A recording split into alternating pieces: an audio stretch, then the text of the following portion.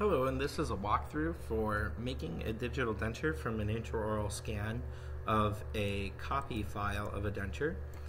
Um, as you can see here, we've already prepared some of the mandibular files because we're going to be making a bridge, which I've prepared here. And the bridge will then be uh, used for then a uh, high performance polymer uh, partial framework, which will slide onto the full contour zirconia bridge.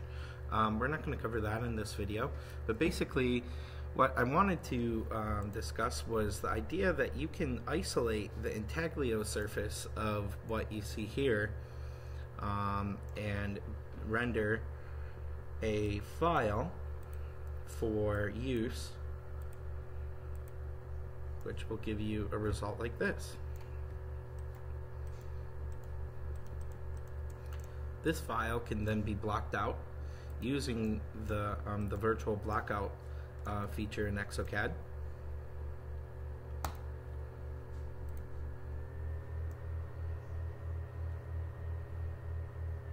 This is important because you don't want to engage any of the undesirable undercuts. Although the amount of offset and undercut that you would like to engage can be uh, altered here. I like these settings, so we're going to go ahead and just press apply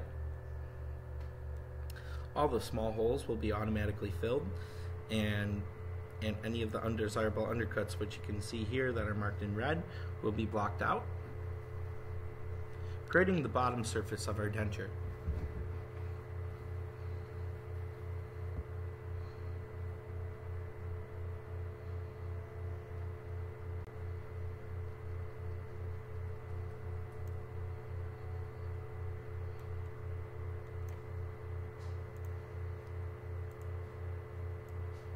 So you can see here that using the edit meshes, I've already taken the time to separate the two meshes,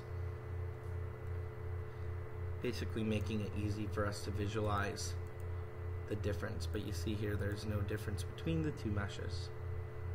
So once the operation is complete, you just go ahead and replace the teeth with new CAD teeth. Some uh, sometimes it's easier to visualize just in a monochromatic as opposed to color. So we'll come here to place teeth, but not first without uh, giving us a little bit of guidance um, uh, from the pre-existing teeth. If you're not using a denture, a bite rim will suffice, although uh, visualizing where the teeth uh, can go really will help because you can really nail um, the placement right away pretty good.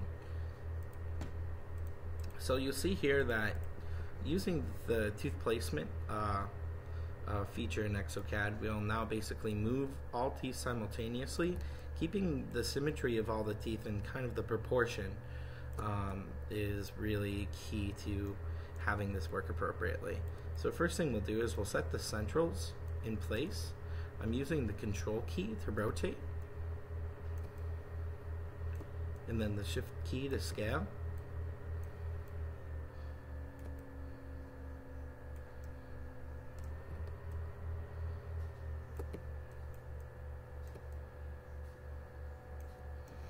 Once we have a result that is that is close, what we'll do is we'll ensure that the centrals are sized appropriately. That'll give us um, the insurance that the card of teeth that we're using is um, uh, is uh, appropriate for the patient.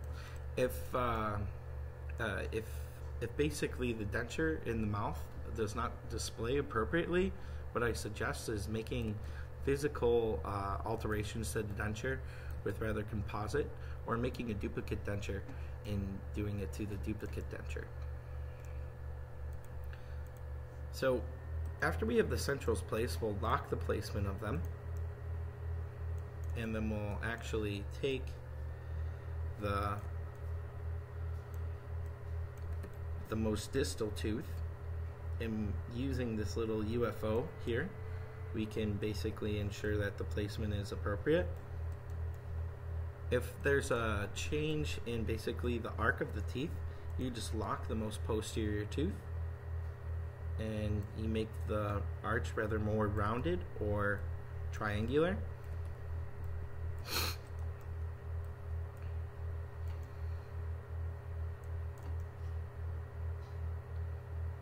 Then basically from here what we'll do is we'll rotate the other side of the arch. If you wanted to make it um, uh, symmetrical, there's an easy way to do that by clicking the symmetry button. Um, although not all arches are uh, symmetrical in their uh, uh in uh, their proper regard. So basically, what we'll do is we'll just go ahead and fix that.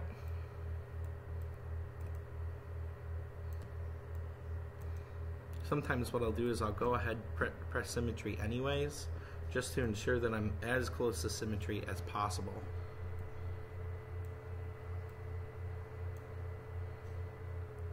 If you get something like this where basically um, the lateral and canine are not kind of within the arc of uh, the original position, what you could do is you can just lock the tooth that looks like it's appropriate and then it'll move the section in between So that's a decently close copy.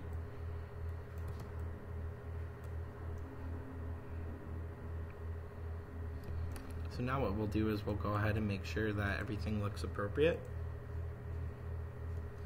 Fixing some of the line angles here. And then now here. Rendering us a pretty good result. So once your teeth are placed, it's important to then mark um, the endpoint of your gingiva and setting the thickness of your base. I like to set at two millimeters, although you can set greater or less, depending on the case. Then you can go ahead and press the endpoint of your gingiva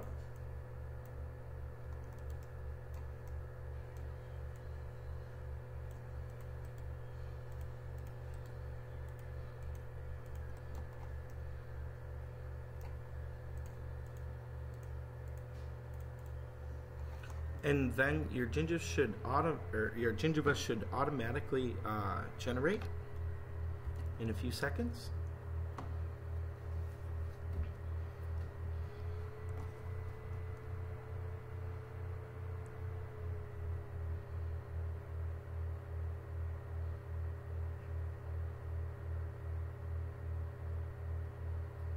leaving you a result like this. Um, so essentially, if you are happy with the placement of your teeth and how your gingiva looks, um, this is the point where you can merge and save. But the one last thing we need to do is make sure that the teeth are adapted to the base. So this is now basically where I like to save my position um, uh, uh in the workflow and uh, and basically call this the wax up scene.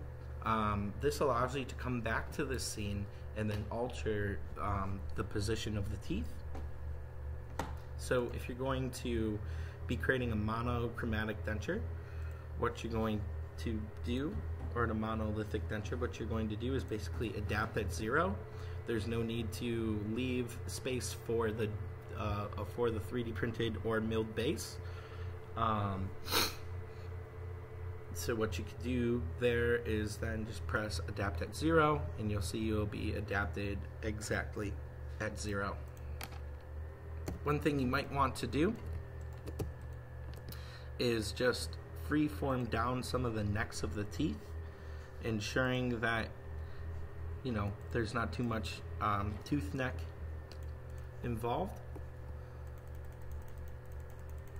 Because sometimes the 3D printed bases or milled bases can be a little bit um, transparent.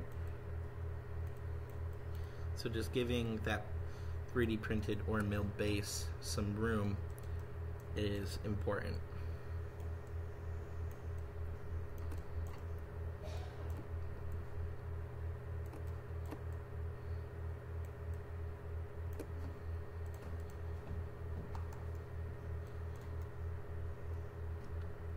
So basically, Um, if you're going to uh, finish for your monochromatic denture, you'll just press merge and save. Um, otherwise, what you could do is come here to freeform and then adapt at a greater number, which will allow you to separate the tooth and base later on.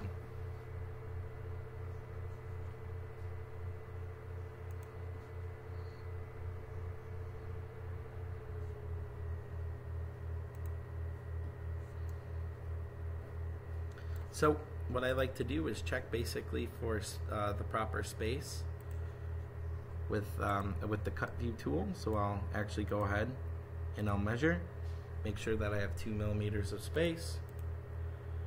This is one millimeter. This will be pretty close, but it should be decent um, for what we're trying to do here. All right, cool. Thanks.